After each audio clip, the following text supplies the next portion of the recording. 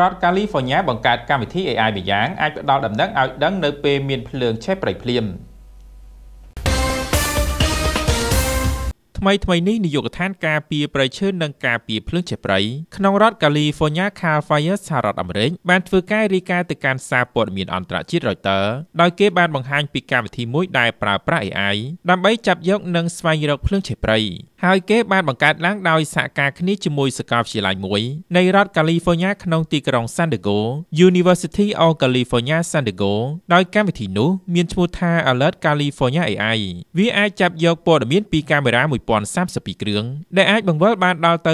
360ដឺក្រេឯណោះនិងប្រើប្រាស់ AI ដើម្បីកំណត់អត្តសញ្ញាណនៅពេលដែលមានភ្លើងឆេះព្រៃនិងមានភាពមិនប្រក្រតីនៅក្នុងកាមេរ៉ាផងដែរលើពីនេះប្រសិនបើមានបញ្ហាអ្វីមួយកើតឡើងវានឹងជូនដំណឹងដល់សេវាសង្គ្រោះបន្ទាន់និងអាជ្ញាធរពាក់ព័ន្ធផ្សេងផ្សេងទៀតដើម្បីមកពិនិត្យមើលជាក់ស្ដែងទៀតផងស្របគ្នានេះដែរក៏មានកាមេរ៉ាមួយត្រូវបានគេរាយការណ៍ថាវាបានថតសម្លេងភ្លើងឆេះព្រៃនៅម៉ោង3ទៀបភ្លឺនៅក្នុងតំបន់ដាច់ស្រយាលដែលគេហៅថា Cleveland National Forest នៅភាគខាងកើតទីក្រុង San Diego ទៀតផងនេះក៏ដោយសារតែ AI បានប្រទះនៅឧបទ្ទវហេតុនេះហើយវាក៏បានជូនដំណឹងដល់ប្រធានក្រុមពន្លត់អគ្គិភ័យម្នាក់បន្ទាប់មកគេក៏បញ្ជាអ្នកពន្លត់អគ្គិភ័យប្រហែល60នាក់ដោយក្នុងនោះមានម៉ាស៊ីនពន្លត់អគ្គិភ័យ7គ្រឿងម៉ាស៊ីនឈូសឆាយព្រៃ2គ្រឿងរថយន្តដឹកទឹក2គ្រឿងនិងក្រុមអ្នកជំនាញ2នាក់បន្ថែមទៀតជាលទ្ធផលអណ្ដាតភ្លើងដែលឆេះយ៉ាងសន្ធោសន្ធៅនោះត្រូវបានពន្លត់ដោយប្រើរយៈពេលតែ45នាទីតែប៉ុណ្ណោះបើតាមគេហទំព័របច្ចេកវិទ្យា Alert California បានរៀបរាប់ថាយើងបានប្រើការ scan LiDAR ដែលថតចេញពីយន្តហោះធម្មតានិងយន្តហោះគ្មានមនុស្សបើក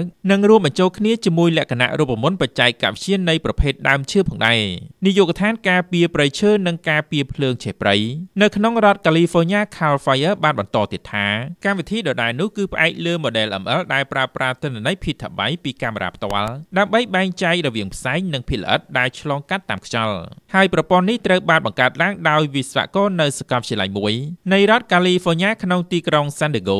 University of California San Diego ដោយប្រើ AI ពីក្រុមហ៊ុន Digital Path ដែលមានមូលដ្ឋាននៅរដ្ឋ California ផ្ទាល់តែម្ដងគួរបញ្ជាក់ផងដែរថានាយកដ្ឋានការពារប្រៃឈើនិងការពារភ្លើងឆេះព្រៃនៅក្នុងរដ្ឋ California បានវិនិយោគអស់ជាង20លានដុល្លារបន្ថែមទៀតសម្រាប់កម្មវិធីនោះក្នុងរយៈពេល4ឆ្នាំចុងក្រោយនេះហើយគេបានសន្យាថានឹងបន្ថែមសាច់ប្រាក់នៃការវិនិយោគបន្ថែមទៀតខ្ទង់3.5លានដុល្លារនាពេលដកខ្លីខាងមុខទៀតផង ដូច្នេះយើងបានឃើញហើយថាវិស័យបច្ចេកវិទ្យា AI មិនត្រឹមតែប្រើប្រាស់នៅលើកម្មវិធីរបស់ smartphone នោះទេជាស្ដែងវាថែមទាំងត្រូវបានគេយកទៅប្រើនៅក្នុងកម្មវិធី Alert California ដើម្បីតាមដានរកមើលដឹងពីភ្លើងឆេះព្រៃទៀតផងដែរអញ្ចឹងបច្ចេកវិទ្យា AI វាពិតជាកាន់តែទំនើបទៅទំនើបទៅហើយនៅក្នុងពិភពលោកយើងនេះហើយថ្ងៃអនាគតវានឹងកាន់តែរីកចម្រើនជាងនេះទៀតក៏ថាបានអត្ថបទនេះដែរដកស្រង់ចេញពី Cambo Report